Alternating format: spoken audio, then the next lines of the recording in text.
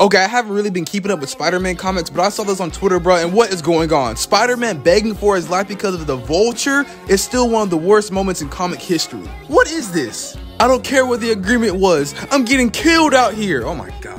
They got my boy Peter on the phone begging the Norman Osborn to help him beat the Vulture. Jesus. Peter, you've been doing this for too damn long to be getting your ass whooped by the Vulture. Can someone give me the full context and explain this to me because no way Peter's getting bitched by this dude.